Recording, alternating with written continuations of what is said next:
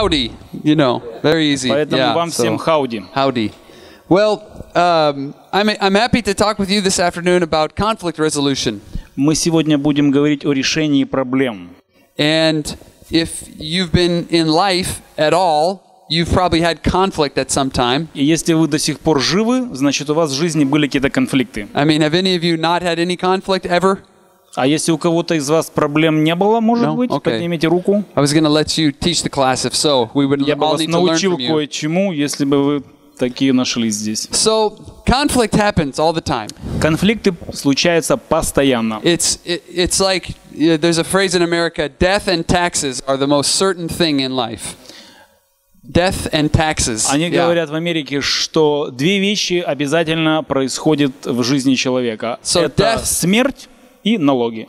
Death, taxes, and conflict. You can almost guarantee you'll see all И three третья часть – это конфликты. Поэтому поговорим сегодня о конфликтах. because we live in a fallen world, right? Мы живем в мире, в миру, и поэтому конфликты – неотъемлемая часть. it's important to learn how to resolve conflict. Otherwise, you'll have more conflict.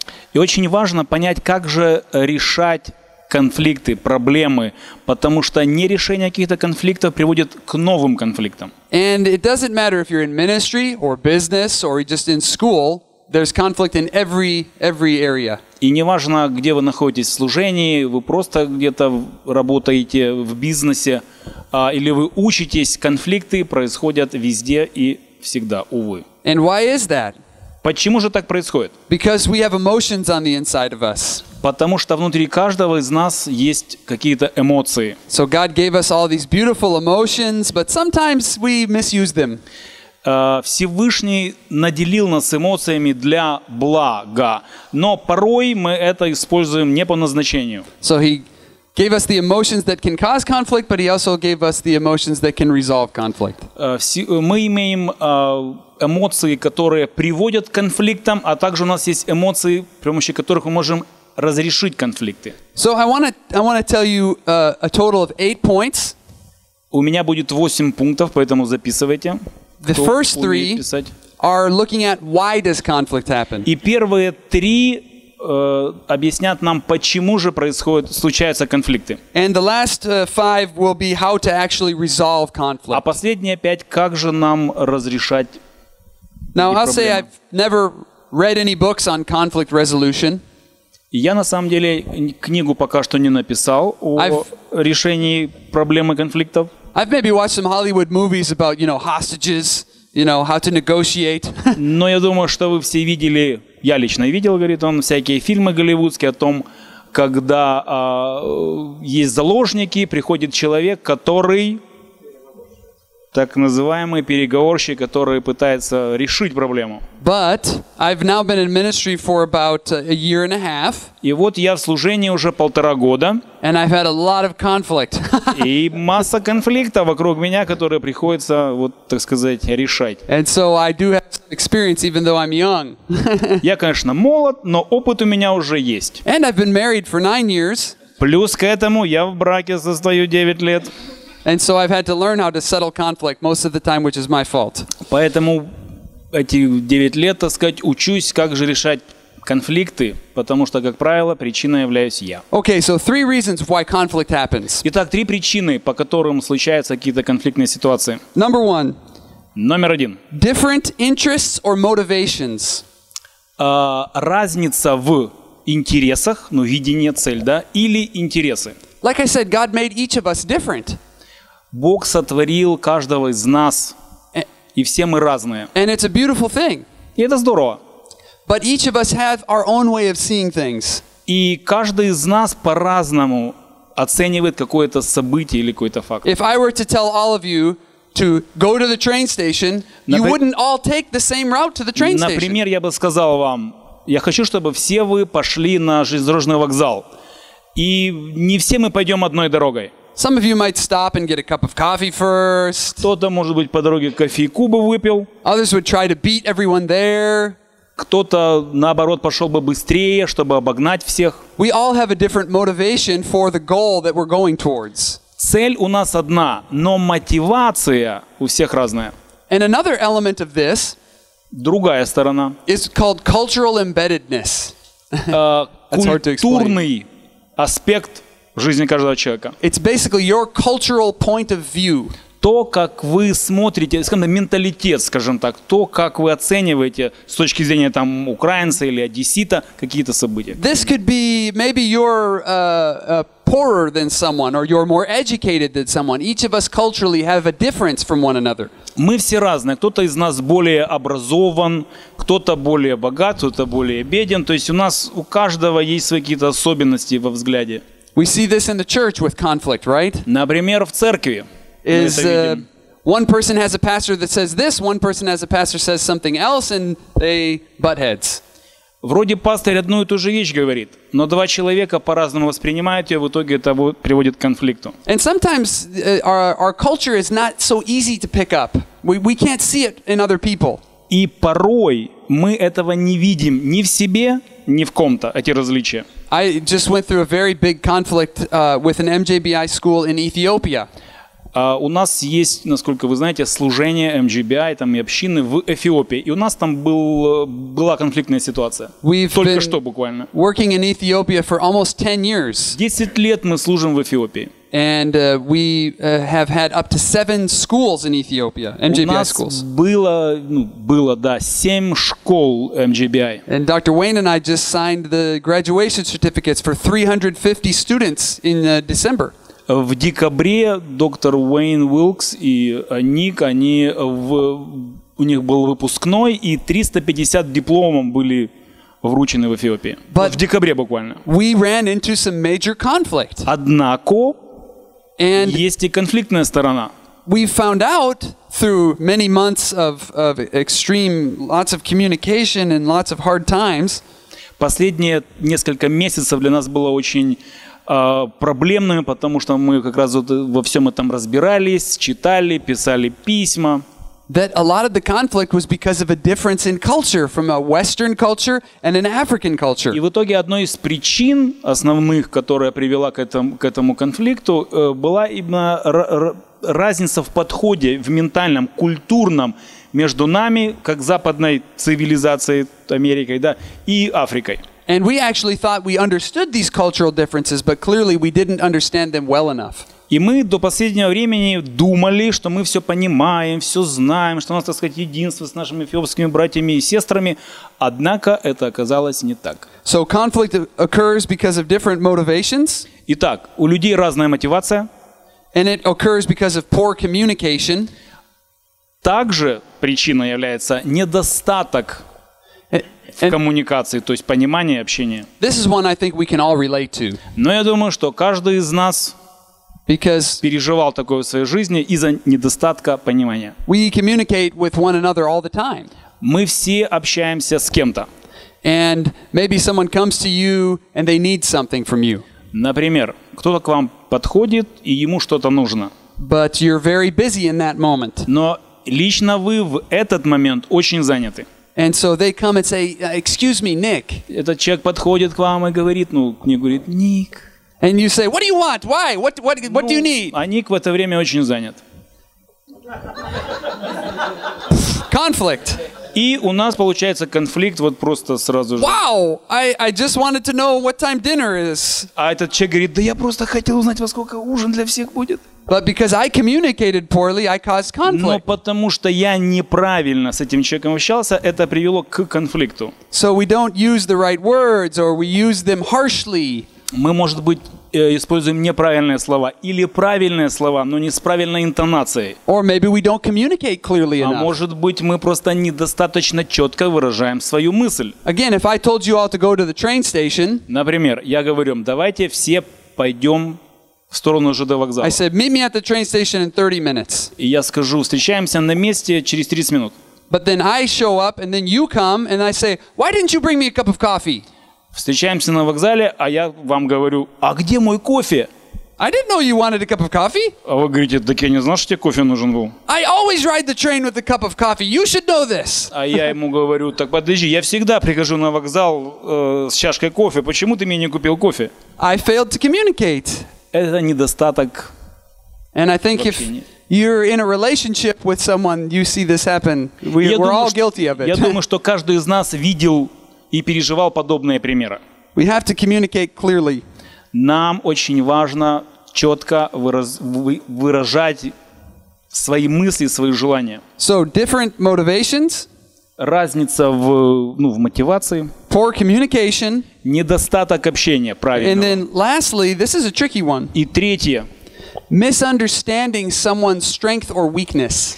непонимание сильных или слабых сторон, э, ну, ближних наших. I want to give you an example of my wife and I. Приведу пример на наших отношениях с моей супругой. so, um, if you were in the session with uh, Dr. Wayne and Bonnie, Если вы на прошлом э, семинаре, ну, на секции были здесь, в этом зале, где вы, э, учили э, Банни и Уэйн, uh, Wayne mentioned something called the Strengths Finders test. И Уэйн говорил о том, что есть такой тест, который находит, показывает, выявляет э, сильные стороны человека. It's a kind of personality test that's very popular in America. In fact, they have it in Russian. You can look it up Сейчас, online. сейчас это очень популярно в Америке. Я слышал, что есть это на русском языке, поэтому, возможно, вы даже что-то онлайн сможете найти. But Gateway Church and MJBI were using Finders to learn about our uh, ourselves. Но мы у себя там, э, в офисе, там большой штат, мы используем эти тесты для того, чтобы понять, кто в чем силен, кто в чем слаб. And what it does is it tells you what you're very strong at. И э, по результатам человек видит, в чем он силен, его сильные стороны. So that you can know what to focus on, focus your time and energy on to be better. Для того, чтобы этот человек или его лидер мог бы использовать э, данного человека э, для принесения максимального плода. So I took the Strengths Finders test, И вот я прошел такой, такое тестирование. and my top strength is called positivity.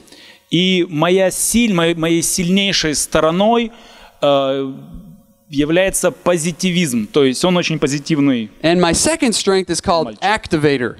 Следующее. э, Yeah, like uh, starting things. Yeah. активатор. То есть это человек, который как... Yeah. То есть не мотиватор. э, ну как типа не стартапер, но человек, который сразу же вот включается See how unique I am? You don't even have a word in Russian to, to Вы describe видите, me. у вас даже такого слова нет, насколько я силен. So positivity В этом. and you know starting things. That's my strength. Позитивность и Yeah, like a startup, like get going. You know, like uh, yeah. Стартапер, знаете, что такое? Смотрите, это то, о чем говорил, э, кто был у Яна Денхардера. То есть есть люди, которые вот они что-то начинают делать, начинают просто в совершенстве, здорово. То есть они буквально с нуля могут поднять все, что угодно, поднять и передать. Потому что если человек начнет продолжать и развивать, это он загнет. Понимаете, да? То есть есть те, которые подхватят, а есть те, которые начнут. Такие называются стартапер. Стартапер. Да. Спринтер. Yeah. Да. Like uh, Короче, вы uh, поняли. like an entrepreneur. Он мальчик I mean, позитивный и, м- и Yeah. может много чего начинать. so my wife's two top strengths, the top У two моей my wife супруги две сильные стороны. are called harmony Первое это гармоничность and analytical. и аналити- аналитизм, то есть у нее ум аналитический. Now, when you think of someone who's analytical, you think of someone who stops, who thinks, who plans, right? Когда мы говорим об аналитическом плане ума, мы думаем, мы представляем себе такой образ. Человек остановился, призадумался. And when you think of someone who is a, a person that brings harmony, they're kind of bringing everyone together, all the people in the room. Let's all be together, right? Человек, который ну, гармоничный, он бы вот тоже остановился, всех бы собрал, как-то там все распределил, чтобы была гармония. So I like to start. I like to move. А Let's я go. Let's go. наоборот, Let's я go. стартапер. Стартануть и вперед, огонь. Yalla, yalla, yalla. Думать будем потом. So my wife, whoa, let's think about this. Жена моя говорит, стоп, стоп, стоп, не-не-не-не, давай подумаем, Окей. поразмыслим. Before before we leave to go on a trip, before we leave to fly on a trip, okay? Перед поездкой там I, через, через I океан. pack my suitcase one hour before we leave. Я свой чумайдан собираю за час до выхода из дому. I can't stand packing my suitcase before Я that. не могу целую неделю складывать. My всю wife сумку. starts packing her suitcase about a month before we leave. Моя супруга начинает паковать свой чемодан за месяц. She makes a list. Она список напишет, She goes over the list two or three times. потом его перепишет, потом подкорректирует. I never make a list. Вообще список не пишу. I say, oh, I know what I need to bring. Какой know. список я побросал и улетел. And so I'm ready to go. I'm ready to move. Для меня So, вперед. why does this matter with conflict resolution? Причем здесь конфликт вообще? Because my wife's strength is being analytical. Потому что для моей супруги сильная сторона – это аналитический склад ума. God gave her a strength of being able to think through everything. Это то, как создал ее Всевышний. Она думает через многие вещи, детали большие и маленькие. And God didn't give me that strength. А Бог мне такого не дал. so, when there would be opportunities that, th- that God would seem to be presenting to our family, Then I would say, let's do it. God's here. Let's go. Let's go. Let's go. И Если Всевышний дает какое-то видение, какой-то проект для нашей семьи, я тут же вскакиваю, давай, давай, давай, вперед, вперед, яла, яла. And my wife would say, whoa, now Nick, let's, let's, let's talk about Я тут this. скачу, прыгаю, жена моя сидит на диване и говорит, сыночек, подожди, Have you, давай thought, have you поговорим». thought about this? А подумал, нет, сыночек, это я добавил от себя. Let's pray about this. Она, она говорит, подожди, подожди, давай подумаем об этом или о том, давай помолимся. And I would look at her and say, Don't you have any faith? Я поворачиваюсь на нее и говорю, ты тебе что, где вера твоя? Don't you trust God? Просто доверься Всевышнему. Don't you trust me? Да в конце концов, ты что, мне не веришь? Don't think about it. Let's А go. не думай об этом, огонь, вперед. And I thought that was a weakness for her. Я на нее смотрю, ну это же слабый человек. Because I'm thinking, why Вот is это- she why is she moving so Вот это, slow? вот это ее аналитика, это же слабость в ее жизни. Вообще, мы же почему мы так медленно двигаемся? Why is she being so negative? Почему столько негатива And so I? I kept thinking, Lord, I'm praying for her. Lord, give her faith. И я вот молюсь денно и ношно, Господь, укрепи веру ее. And God was probably saying, No, you need to start thinking more. А, а Господь, наверное, говорит там, нет, дорогой Ник, ты начни думать больше. But see, I only learned this about her about a, about a year and a half ago, actually. Но я это понял примерно, может быть, год назад. And now it helps because when we have a situation like this, I understand who she is, and it helps to resolve any conflict very easily. Но теперь, когда такое происходит, у меня глаза открыты, и я четко понимаю, как не доводить до конфликта. Because I can see, oh, this is her strength. I need to rely on her strength. Теперь я понимаю, а, так это ее сильная сторона, мы должны это использовать. I need to slow down and, and listen to the voice of the Holy Spirit Мне нужно чуть-чуть, так сказать, придержать э, лошадей для того, чтобы услышать, э, о чем говорит Дух Божий. Now, of course, I'm not perfect at this. I've failed three or four times quite miserably. Я все еще не так совершенен, как звучит, еще бывают проколы, But we're getting better. но, так сказать, прогресс налицо. so, that was the third point misunderstanding strengths and weaknesses. Итак, понимаем, да, э, непонимание из-за того, что из-за с- э, сильных или слабых сторон человека. Because this is happening when we're building a team for ministry or we're doing something at our job. We see the strengths and weaknesses of our, of our uh, colleagues. И это происходит даже тогда, когда мы в служении там формируем команду для чего-то. And oftentimes we misread a strength as maybe an insecurity. Порой мы видим в человеке и замечаем какую-то сторону, которая на самом деле является сильной стороной человека. Мы это характеризуем как его недостаток, то есть его слабая сторона. So we need to stop and recognize the strengths of the people who God has placed us with. Очень важно в данной ситуации не торопиться, а подумать, помолиться и увидеть Okay, сильные стороны э, членов вашей команды. so those are some reasons why we have conflict. Это было три причины, по, которых, по которым мы, у нас возникают э, конфликты. А теперь пять пунктов, которые э, помогают в разрешении конфликтных Now, ситуаций. these aren't the only five ways in the world. Это не единственные пять пунктов в мире, которые существуют для решения конфликта. But there, they are five things that I feel are very biblical and very useful principles to help you. Но я думаю, что это те э, пять очень важных библейских принципов, которые нам помогут. The very first thing that you need to do is to humble yourself. Первое. Смиряйтесь. Now, that might seem very obvious, А, звучит обычно, обыденно, все понятно, надо смиряться. but if you're offended at someone or there's something that needs to be solved quite quickly, stopping and humbling yourself can be uh, not very easy. Но если вас обидели, то очень тяжело остановиться и смирить свое сердце. Правильно? Psalm мы в 1, обиде, это очень тяжело. in Psalm 139, David says, Search me, O God, and know my heart. А, в Псалме 1.39 э, Давид говорит, э, Yeah, here, search me and know my heart. «Исследуй меня, узнай сердце мое, Point out укажи на то, что беспокоит тебя, чтобы исправил сердце свое». In Ephesians 4, chapter 2, always be humble and gentle. Э, В Ефесянам говорится тоже о смирении. For, 4, 2. э, Ефесянам 4.2.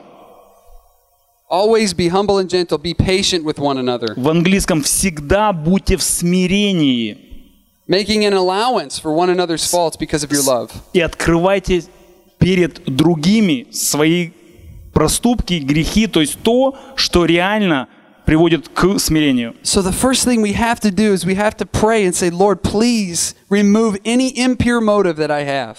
Надо просто молиться, чтобы Господь очистил наши сердца, убрал то, что Ему не, не, не угодно. But From an honest place in your heart, you have to really mean that prayer. Но эта молитва должна быть не просто прозвучать с правильными словами, мы действительно должны желать этого. Say, Lord, I, you know, I don't. It, it doesn't matter to me if I'm right or I'm wrong. I want you to be glorified. Господь, не имеет значения, я прав в данной ситуации или я не прав. Я хочу, чтобы имя Твое было превознесено. And this is hard because conflict. Maybe sometimes we want to win. We like conflict. Но в конфликте, как правило, мы всегда стараемся, ну, выиграть, то есть победить нашего соперника. I have some friends. They, Оппонента. they really like to fight. You know, У they, they меня like е- they like to argue. They like to go back and У forth. меня есть такой товарищ, который очень любит спорить They enjoy it. They enjoy the discussion, the philosophy. и любит э, философствовать. But it's hard sometimes for them to stop, humble themselves, say, "Okay, И для него очень тяжело остановиться и э, в смирении пребывать. I want God's ways to have uh, to, to be the, the the outcome here. I want God's plans." Господь, я хочу, чтобы в моей жизни был Твой план. So humble yourself. Number one. Итак, Number сме- two. смирение. Второе. Be patient. Будьте терпеливы. Again, very basic. But one of the hardest things for us to do when conflict happens is we want to solve it right away. Когда происходит конфликт, первым делом мы хотим все решить сразу же. Somebody sends you an email that offends you. Oh, I'm going to write back to them right now. Кто-то прислал вам э, имейл, ко- в котором вы, ну, вы обиделись э, на то, что там написано. Первым делом надо сделать что? Быстро сесть и написать ответ. Or maybe even there's, you know, a mother and, and a daughter that you know that's fighting. You say, I'm going right to their house. I want to help them right now. If a mom and daughter are, arguing, you know, you think, oh, I have to help my friend. I'm going to go right now to their house. Например, у ваших друзей конфликт там между мамой и дочерью, там какая-то у них ссора, и первое желание что? Быстро пойти, так сказать, и It's, вклиниться. it's always good to be patient and wait before the Lord. Очень важно набраться терпения и ожидать Всевышнего. And make sure that you wait for Him to tell you what to do. Очень важно, чтобы мы от Него, от Всевышнего приняли ответ, что же нам делать в данной ситуации. And this is where a lot of conflict becomes an unsolvable conflict. И на самом деле, если так не поступать, то конфликт превращается в большую проблему, неразрешенную. Вот тогда клубок наворачивается, We act too quickly, we, we speak too quickly. когда мы начинаем действовать очень быстро или отвечать очень быстро. And once you say something, you can't unsay it. it, it it's said. И после того, как мы э, что-то сказали в ответ, это слово уже не вернуть, слово уже ушло. Слово не воробей, как известно. and when you say something, that can add to the conflict and make it worse. And then the next thing you know, it's a big war. И когда вот мы не проявляем терпения, мы здесь что-то сказали, там что-то написали, в итоге какой-то маленький конфликт превращается в большую войну. I mean, literally, wars have been started because of some little thing that Поверьте someone мне, said. реальные войны начинались из-за того, что кто-то кому-то что-то сказал, а кто-то ответил, не подумавши. In fact, World War I, Many people believe World War I started because of something like this. И многие историки считают, что а, Первая мировая война как раз произошла из-за того, что кто-то что-то сказал, а второй человек, не подумавший, ответил. You know, the, the next ruler of the Aust- Austro Hungarian Empire was assassinated in 1914 in, in, by a Serbian. Вы знаете, что а, австрийский принц, он был убит, застрелен в Сараево в, в Сербии. And so В 14 the leader said, We have to respond. We have to respond now. Now. We have to respond. И реакция многих политиков этого времени была именно таковой, что вот нужно наказать, нужно вот ответ дать сейчас. And many scholars believe that if they would have just waited, then they wouldn't, the, the escalation wouldn't have continued. И э, ученые, историки считают, что если бы тогда была выдержана какая-то пауза, чтобы не, если бы тогда не были приняты скоро э, постижные решения, то Первой мировой, возможно, и не было бы. And so we don't know what would have happened if there would have been no escalation. Мы не знаем, что произошло, если бы не было той эскалации в Европе тогда. There may have been no World War II. Может быть, не было бы даже Второй мировой войны. There may have been no Hitler rise to power. Может быть, Адольф Гитлер не пришел бы к власти. So we have to be patient. We have to wait for the Lord to speak to us. Очень важно для нас проявлять терпение, ждать от Всевышнего Его Okay. Слова. Number three, Третий пункт. seek То есть wise, получается шестой. seek wise counsel. six, right? uh, th- this is number three of how to resolve conflict. But yeah, То есть третий по решению. okay, is seek wise counsel.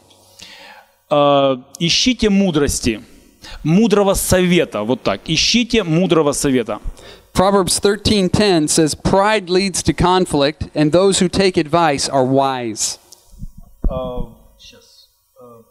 Proverbs, да, притчи, спасибо. Э, 13.10, э, притча 13.10.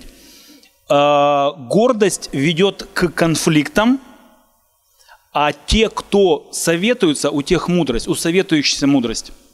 This is one of the most important things for you to do. Это очень одна из важных вещей, которые нам нужно научиться делать. Ask for help.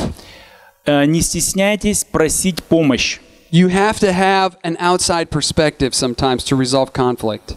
Э, Порой люди э, со стороны, у них более четкое понимание ситуации в этом конфликте, что не на стороне. Just as my example that we've been having in Ethiopia, I've sought the counsel of many wise people in helping to to resolve this. К примеру, тот конфликт, который произошел в Эфиопии, мы обратились к другим служителям, и э, нам помогли этот конфликт загасить. From from Dr. Wayne, from Jonathan Burness, from Pastor Olin, our board of advisors. Были вовлечены доктор Уэйн Уилкс и пастор Оуэн, э, Джонатан Бернис. Это те люди, которые в сети дикторов, и э, благодаря им, в принципе, получилось конфликт загасить. Because sometimes people that you can go to for wisdom have gone through conflict and they know exactly which way to go. Люди, к которым мы обратились, они уже проходили подобные ситуации, они переживали подобные проблемы, и они понимали, как обойти э, острые углы. But it but we can sometimes feel no, I know what to do. I don't need someone's advice. Но порой мы говорим, да я сам все знаю, я знаю, как поступать, я понимаю, что я прав. Well, what's it going to hurt you to have someone else's advice? Разве это сильно ударит по вас, как-то ранит вас, если вы попросите у кого-то о помощи, мудрого совета? So humble yourself, Смирение, be первое, patient, терпение, get counsel, get wise хороший counsel, совет, мудрый совет. and the next point, communicate clearly with transparency. И четвертый пункт, э, четко и ясно выражайте свои мысли, свою позицию. I think being honest is a very um, wise thing to do when you're communicating. Быть честным – это очень э, мудрая правильная вещь в общении. Sometimes you have to really, even if you think it's going to hurt their feelings, you have to be honest with people.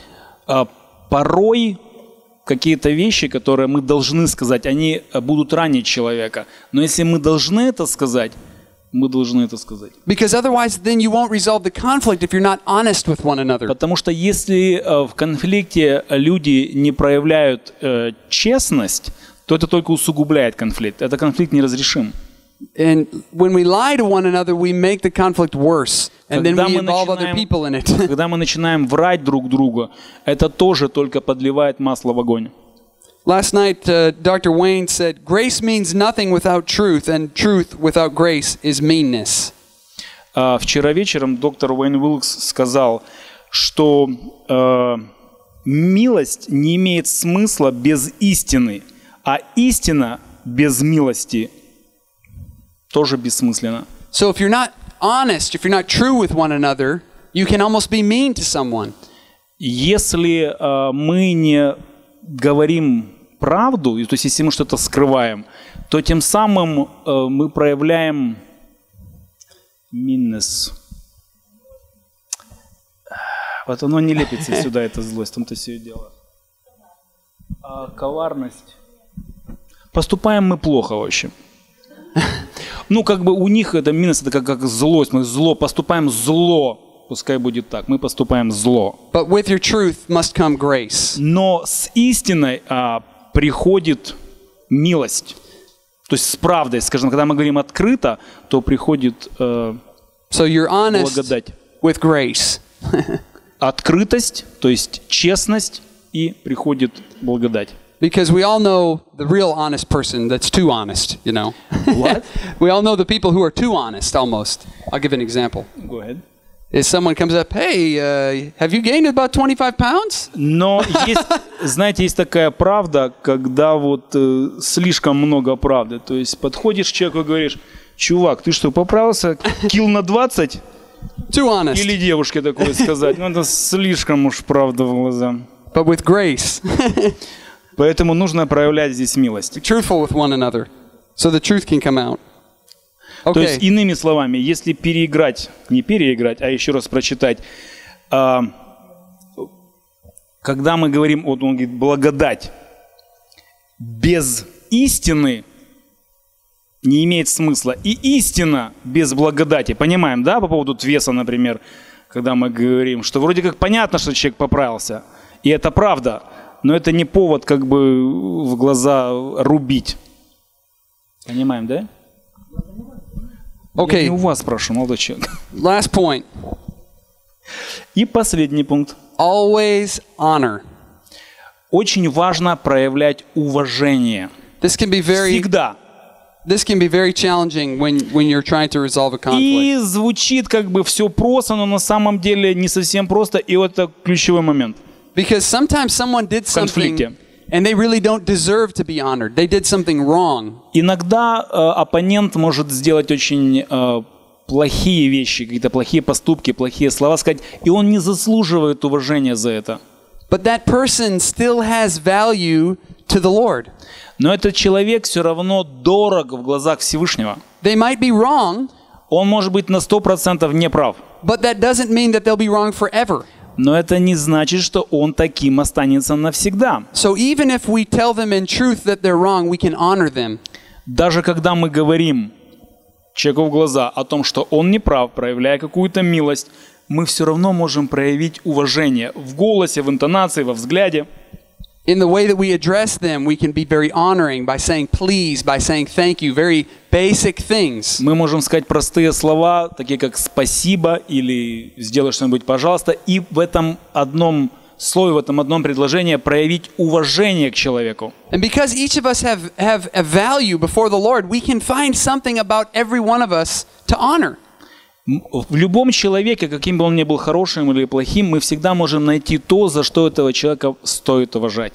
And when you honor someone, you disarm them. You, you, uh, uh, yeah, you know. И когда мы в конфликте проявляем к человеку уважение, тем самым мы как бы обезоруживаем его. This is the big lesson that we've been learning um, with this conflict in Ethiopia. И это то, чему мы научились э, в процессе конфликта в Эфиопии.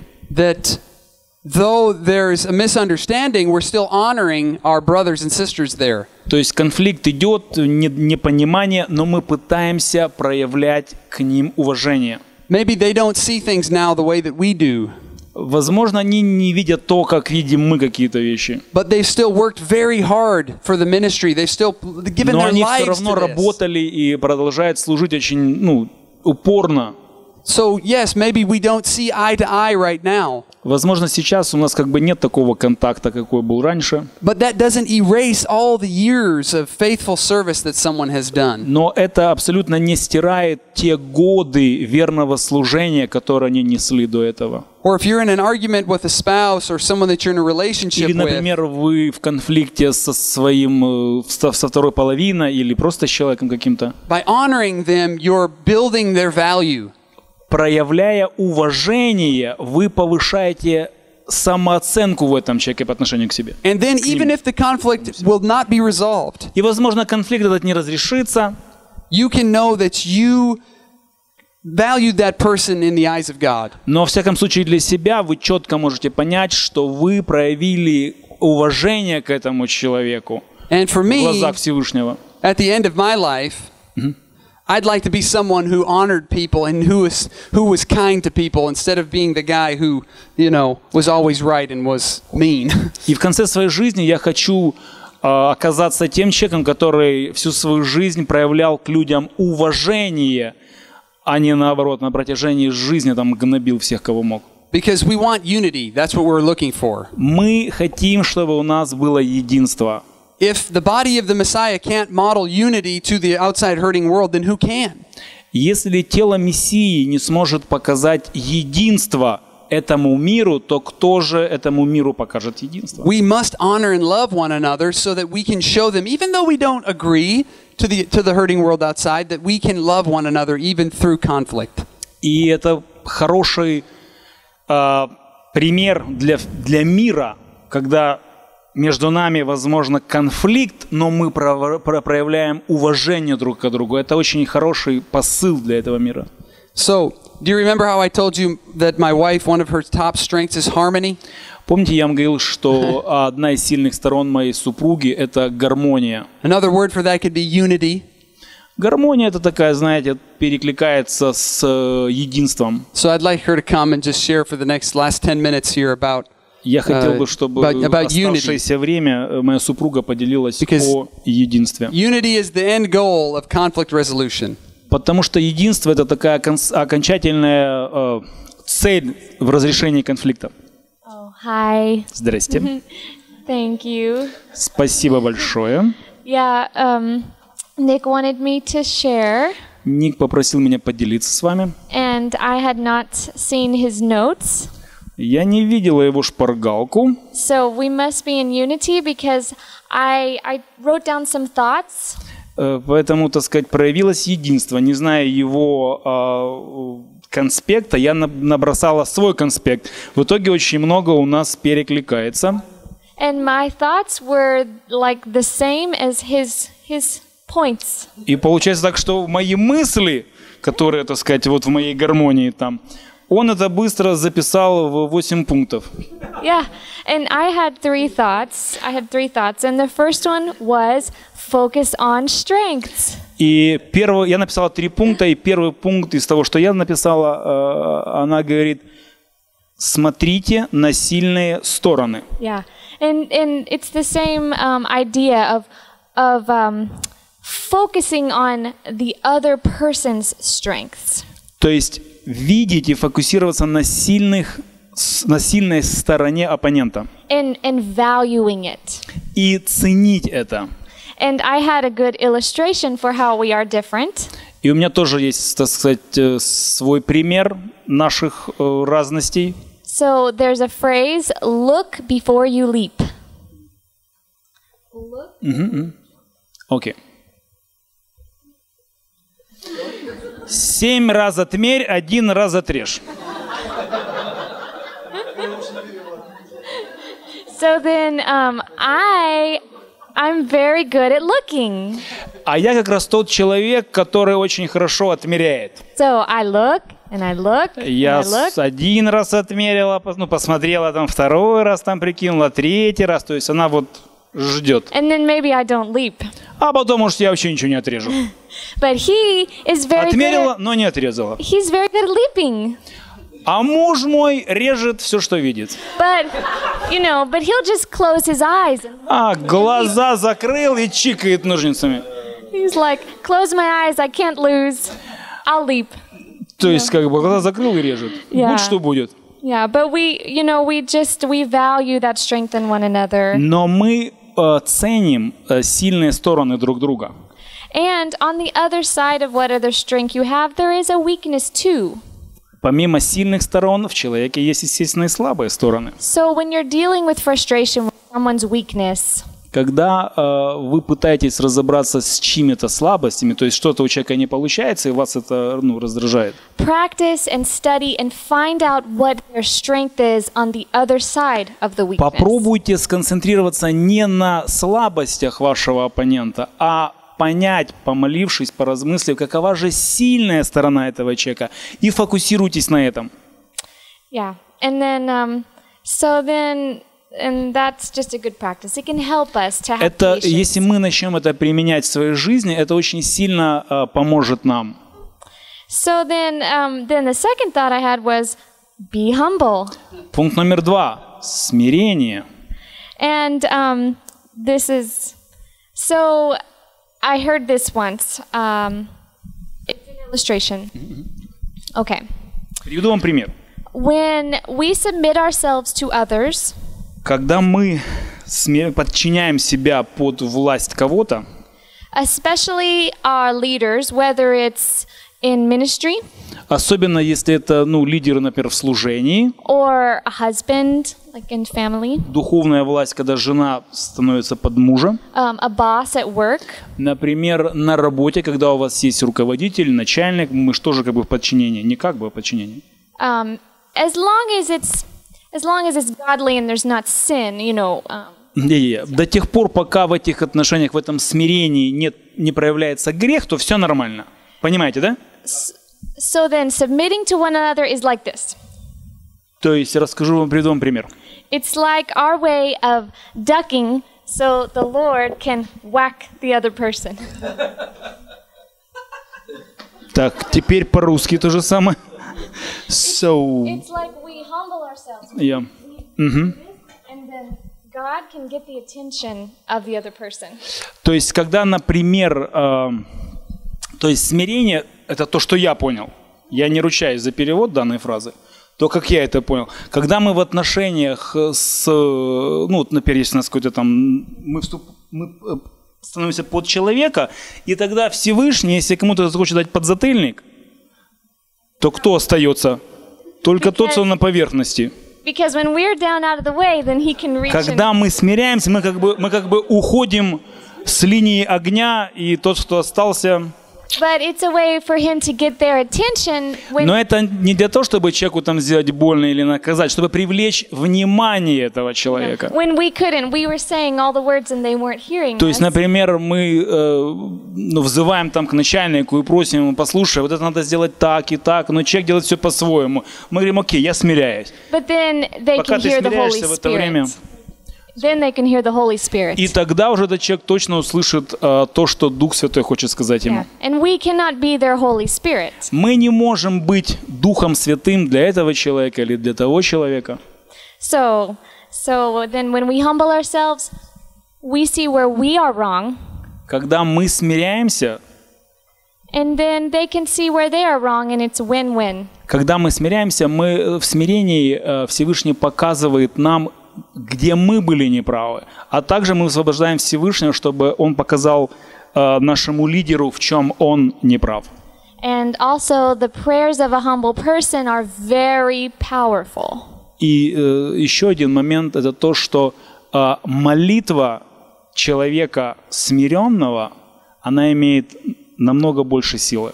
God, He sees and He hears those people who are laying down their rights. Всевышний слышит те молитвы, которые произнесены с колен, когда человек в смирении. And so He can come and save И and help. Всевышний приходит и с собой приносит э, свободу и победу. And that leads me to the third was just to grow or cultivate gratitude. И это, э, и это приводит нас к третьему пункту, который говорит о благодар, благодарном сердце. So Psalm 50, 23. Э, Псалом 50, 23. A sacrifice of praise honors me, and to the one who orders his way I will show the salvation of God. Кто-нибудь прочитайте, пожалуйста. 50-23. У кого есть Библия с собой? Ни у кого? Хорошо. Need it? This this is NIV. I wanna be- Да. Okay. Я, наверное, его...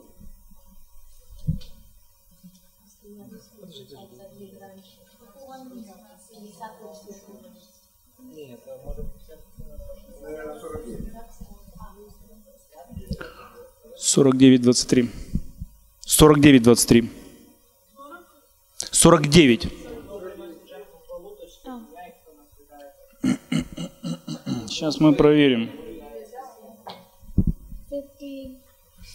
Кто приносит жертву хвалу, тот чтит меня, и кто наблюдает за путем своим, тому явлю я спасение Божье.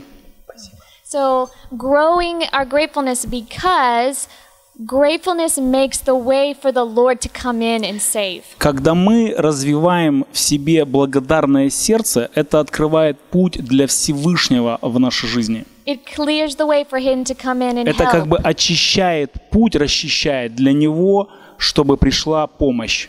And um, my friend, she has this saying: У моей подруги есть, она, э, у нее есть такое выражение. "A right action changes a wrong heart. Окей. One more time. A right action Правильное действие changes a wrong heart or feeling. меняет, изменяет э, неправильное сердце. So even if you don't feel grateful, Иногда, может быть, мы э, чего-то не чувствуем, какой-то благодарности там или чего-то еще, но мы делаем правильные поступки все равно. um, declaring it, and your heart will begin to Тем самым change. провозглашая, делая правильные поступки, мы провозглашаем. And then you will И begin to feel it. приходит изменение в наше сердце, и потом приходит чувство правильное уже. Yeah. And this is very important in solving conflicts. Это очень важно, мне кажется, в разрешении конфликтов. So anyway, thank you.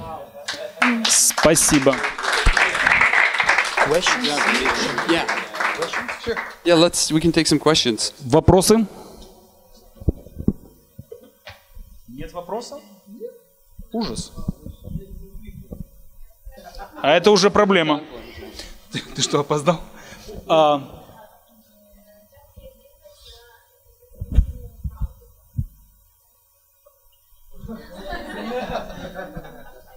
Нет. Не конструктивную, имеете в виду деструктивную?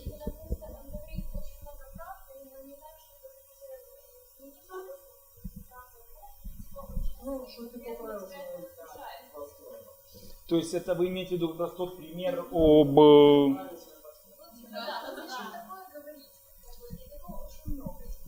Why person would say, like, somebody's gaining weight, Oh, too, too, too, too honest. yeah, Yeah.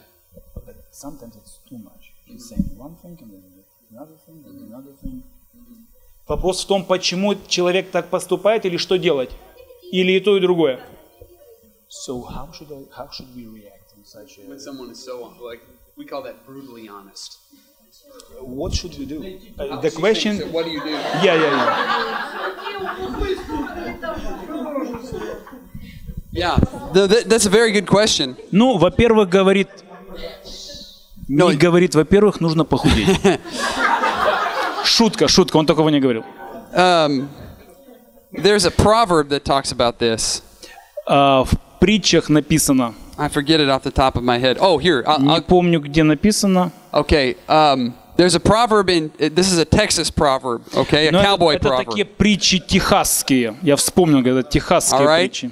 It's better to keep your mouth shut and let someone think you're foolish Лучше бы ты держал свой рот на замке, чтобы люди не поняли, что ты глупец. than to open your mouth and prove it.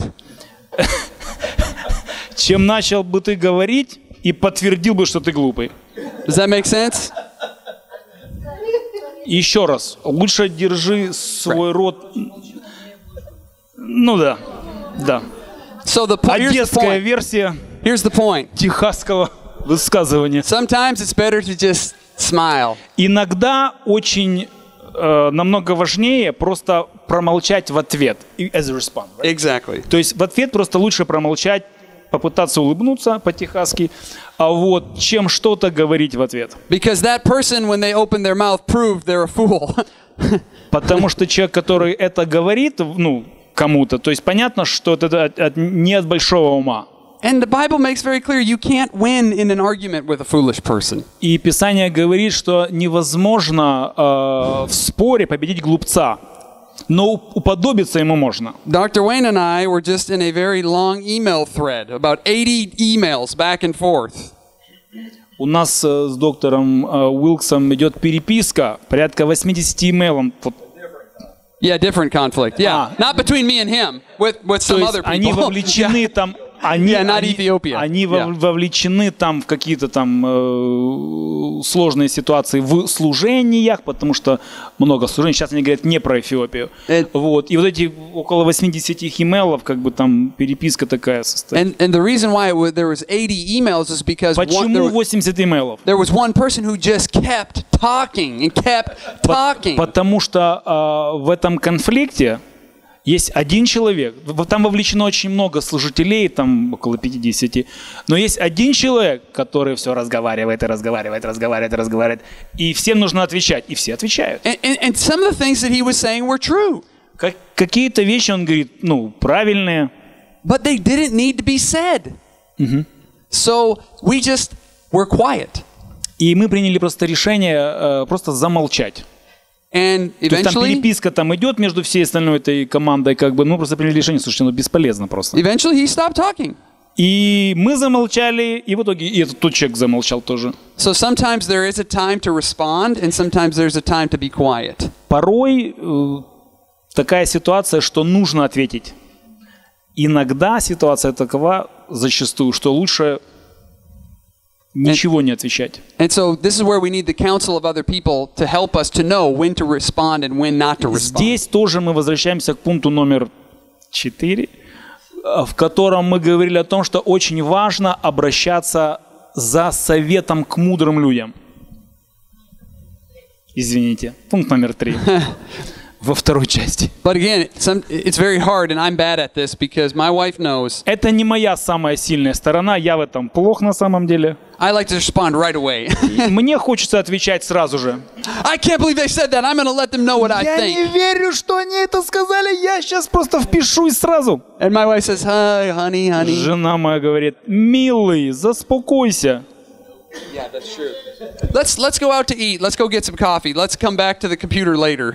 И говорит жена моя, слушай, говорит, оставь компьютер, пойдем выпьем кофейку, потом письмецо мы напишем. Solving conflict by email never a good idea.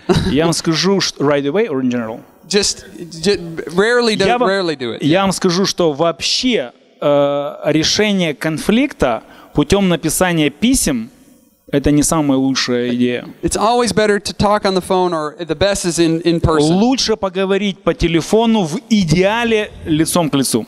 So, yeah. Это отвечает на ваш вопрос или нет? Okay, that was a good question. Давай, те. Удивите нас. Извините, погромче. Один замолчал, потому что считает себя обиженным. Кто-то его обидел Так. Второй замолчал, потому что он не хочет показать себя дураком. А кто из них прав?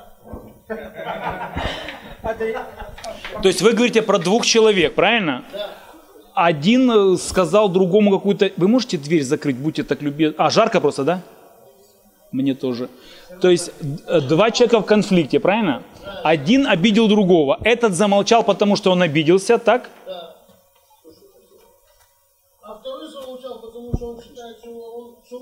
А, что он прав. Все, я понял. So here is uh, the question. So two, two people.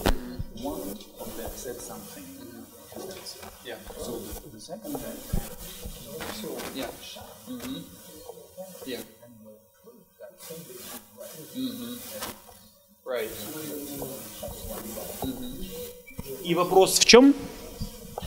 Прав из них Валентин Романович Свионтек.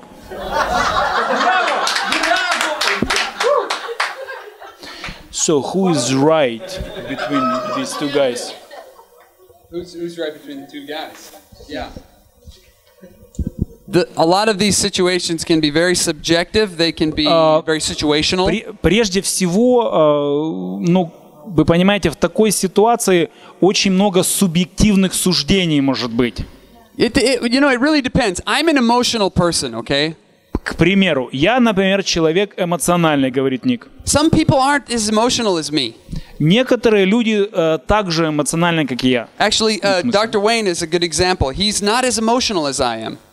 Например, доктор Уэйн Уилкс, он э, намного менее эмоционален, чем я. If someone says something offensive, Dr. Wayne can be quiet and he can come up with a very good response very quickly. Например, если э, э, кто-то Уэйну скажет что-то обидное, он просто промолчит, даже мышцы лица не поведет. I can't do that. Я сразу в пятак. I am too emotional. Я эмоционален, я буду что-то говорить. And so, because I know that, I choose to be quiet and wait until I can say something intelligent. И поэтому я заставляю себя промолчать, подумать, для того, чтобы впоследствии сказать что-то умное. but to answer your question, Но отвечая на ваш вопрос, if someone says something offensive or if they say something that's wrong, it does need to be addressed. It does need to be addressed. то есть если кто-то кому-то вот... А, сестра уже убежала, да? Если кто-то говорит кому-то вот что-то неприятное, то, в принципе, это нужно озвучить и проговорить, сказать, что, слушай, это было неправильно, это было неприятно и обидно. But you might need to wait maybe one minute, maybe two minutes, maybe one day. I don't know. Но, возможно, для того, чтобы в шаломе это сказать, нужно обождать. Кому-то, может быть, минуту, кому-то час, кому-то день. Понимаешь, да? Sometimes this happens with Tabitha and I, and I don't, I don't respond, and she says, "Are you going to say something?" And I know I can't say anything because what I'm thinking is not a good thing to say. Exactly. То есть, говорит, когда у нас происходит, иногда происходят конфликты с супругой, то она что-то говорит, ну, я молчу. Она говорит, ну, ты будешь что-то говорить в ответ или нет? А я понимаю, сказать-то я могу, но лучше я этого говорить не буду. Лучше я подумаю и скажу правильные слова. So Valentine wants to start a conflict with me, so we have to end Валентин. Романович пришел, руками машет, ищет конфликта явно со мной.